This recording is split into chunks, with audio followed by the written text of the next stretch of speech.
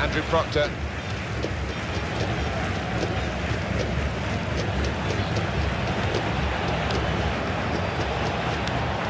And shoots! Oh, it's in there.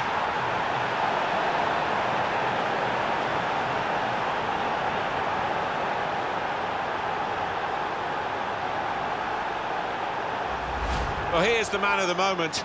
Yet another goal for him. He can do no wrong. Some matches everything goes wrong, but not today.